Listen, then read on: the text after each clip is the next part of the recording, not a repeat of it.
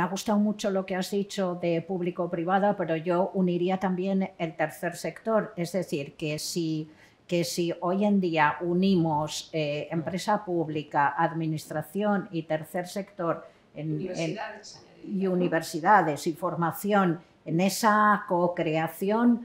eh, yo, creo que, yo creo que avanzaríamos bien.